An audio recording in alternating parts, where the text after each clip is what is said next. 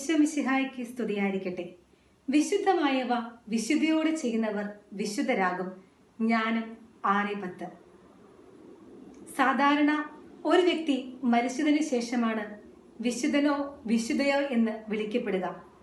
എന്നാൽ ജീവിച്ചിരിക്കുമ്പോൾ തന്നെ വിശുദ്ധ എന്ന് അറിയപ്പെട്ട പാവങ്ങളുടെ അമ്മയായി തീർന്ന ക്രിസ്തു സ്നേഹം തന്റെ ജീവിതത്തിലൂടെ പകർന്നേകിയ കൊൽക്കത്തായിലെ വിശുദ്ധ മദർ തെരേസയുടെ തിരുനാൾ സുദിനം. തന്റെ ജീവിതം മുഴുവൻ വിശ്വാസത്തിന്റെ ഒരു തീർത്ഥയാത്രയാക്കി മാറ്റിയ മഹാവിശുദ്ധയാണ് വിശുദ്ധ മദർ തെരേസ.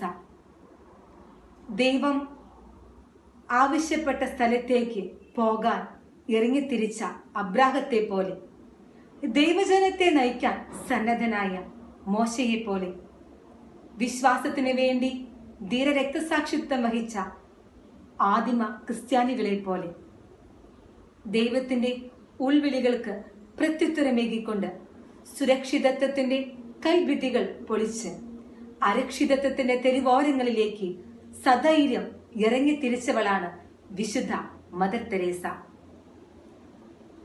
അശരണരിലും ആലംബഹീനരിലും തെരുവോരങ്ങളിൽ കഴിയുന്ന മക്കളിലും ക്രിസ്തുവിന്റെ മുഖം ദർശിച്ച് ശുശ്രൂഷിക്കപ്പെടാനല്ല.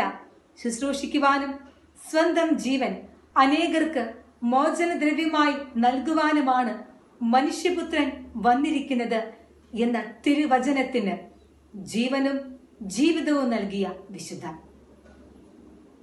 ജീവിതയാത്രയിൽ അവഗണിക്കപ്പെടുന്നതും ഒറ്റപ്പെടുന്നതുമാണ് ഏറ്റവും വലിയ വേദന എന്ന തിരിച്ചറിവിൽ വേദനിക്കുന്ന മക്കൾക്ക് സാന്ത്വനത്തിന്റെ സ്പർശനമായി അവർക്ക് ക്രിസ്തു സ്നേഹം പകർന്നു നൽകി പ്രത്യാശയിലേക്ക് ആ മക്കളെ നയിക്കുവാൻ വിശുദ്ധ മദർ തെരേസയ്ക്കായി.